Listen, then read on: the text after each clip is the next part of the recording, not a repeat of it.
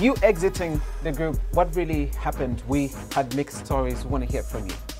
Well, I have never really talked about it because obviously there are people that are so religious about it that whatever I will say, they will keep, and I really just love my peace. Mm-hmm. I decided to walk away without saying anything out of the respect that I have for everyone in the group.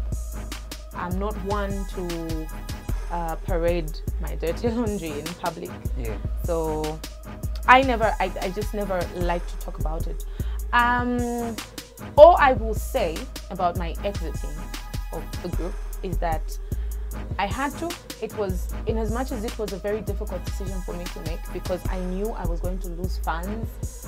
I knew I was, I was, I was going to lose um, a bit of respect from some people. Yeah. But it's something that I had to make if I wanted my music career to go further. I felt like I wasn't growing. Yeah. And as we all know that it's a hip hop group. Yeah. I felt that I did not fit in well because at the end of the day, whichever event that I will go to, whoever is there is a hip hop fan and not necessarily a, an Afro pop fan.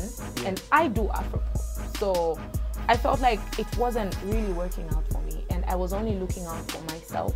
Yeah. And I took what I learned from from being in the group and it's helping me become a better artist. I now I know now what type of artist that I, I want to be, where I want to be five years from now. And that's the reason why I left.